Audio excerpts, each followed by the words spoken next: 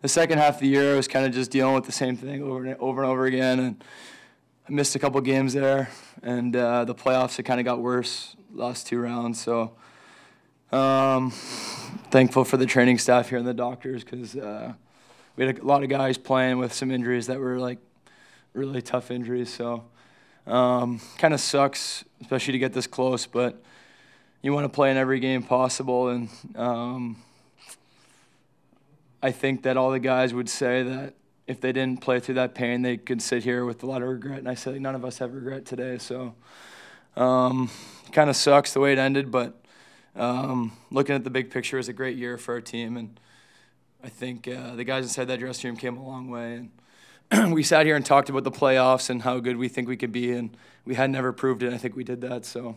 I think that's kind of the, the message to take out of everything and uh, how you know positive a year it was. Ryan, it, he kind of shoved you in the back, and then you immediately reached. Was that you just re-injured something? Yeah, it was just it was just aggravating it. That wasn't the injury. Obviously, I've been playing through some stuff for the second half of the year. Like I missed four games with like what 20 games left or whatever it was. So um, obviously in playoffs, I mean like I said, there was a lot of guys playing through some stuff. It was pretty inspiring. So, um, unfortunately, with an injury like lower body, it's the littlest tweak and, and littlest kind of jolt can can hurt. So, it was tough. It was uh, it was a kind of a crappy way to end, but uh, you know that's part of sports. what do you mean surgery?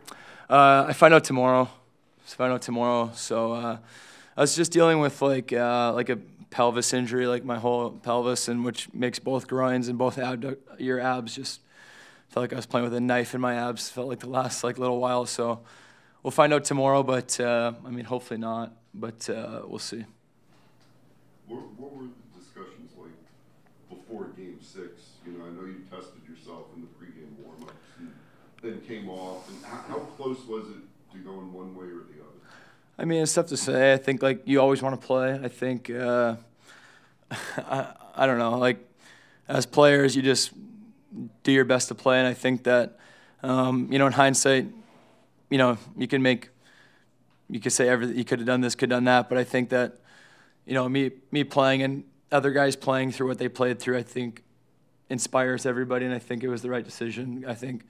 Um, you know, like for example, Good, Goody coming back in Game Six. Like, I think things like that motivate your team. Obviously, guys aren't at 100%, but it's tough to say. Like in a playoff game, like you feel good, and then you know once the play starts, you get out there, like it's a lot faster and a lot more intense than you think. So, you know, in hindsight, everything's 2020. But I, I, I think that um, I think me and a couple other guys would have a lot of regret if we didn't push through, and um, I think it says a lot about our team. And um, thank you. And uh, and the character we have. Is it? Is there a feeling of just the uncertainty you know that's coming in the off season? Was that a factor in saying I got to be out there if this is the last one? Yeah, I don't think so. I think I think I did a good job of kind of not thinking about that as much as possible. It's kind of hard, obviously, but um, yeah, like you know, this group of guys have been through a lot. I feel like when I got here, and last two years, imagining ourselves in this situation was probably tough to imagine. And we, we made all this way, and you want to you know do everything you can. So, um, you know, I, I, I would never make a decision one way or another based on if I had a contract or if I didn't. It was about this group of guys, and obviously this group will never be together again. But um, you know, I think it was a gutsy effort by a lot of guys, and we were close, but not close enough. But I think the one thing that maybe we were missing was a bit of experience and you know, realizing how hard it is, and I think this group has that now. So um, going forward, I think super optimistic.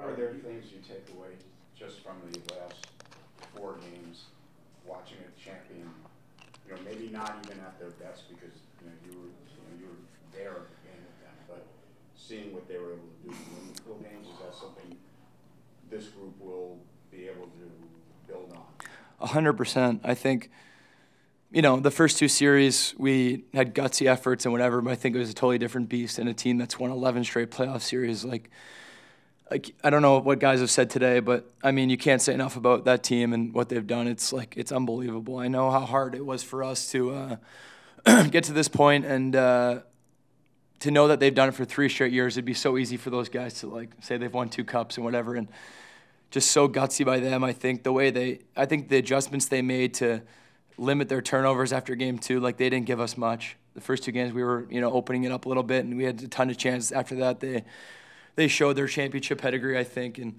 um, I truly think that if we were a little healthier and had some rest, it might have been a different story. But that's the playoffs, and they've been through three straight years of this, so there's no excuses. And um, they are uh, they are a special team for a, for a lot of reasons, and um, they deserve a ton of credit. I think what they've done the last three years is, uh, I mean, anyone can learn from it, but I think getting a firsthand view of that is the best experience you can get, and I think we got that.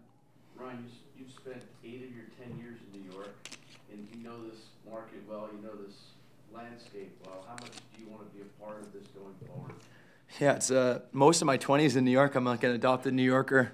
And uh, no, but, you know, obviously my heart's here. I think the last four years I've, uh, you know, tried to pour everything into this thing on and off the ice as much as I could. And, you know, whatever happens, happens. I, I can't predict the future. Um, but all I know is that I love these guys. And I think we have some unfinished business. And this team's destined for great things in the future. So, um, you know, we'll see what happens. It's it's a little emotional, honestly. It's uh, it's a great group of guys, and hope there's more.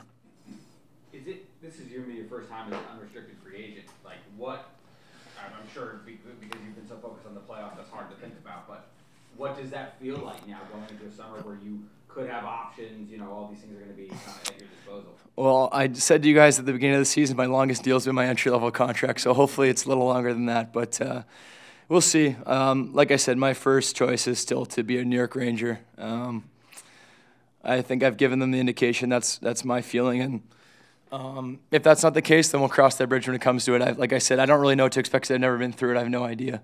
I've watched uh, Trade Center and whatever, or Free Agent Frenzy, all that stuff. So I guess it'll be weird to see your name on that friends list or uh, on that list, but uh, you know, we'll, we'll cross that bridge when it comes to it. But uh, you know, we'll see what happens. This uh, this business is crazy, and I think things can change at any given moment. And uh, you know, we'll see what happens. But uh, yeah.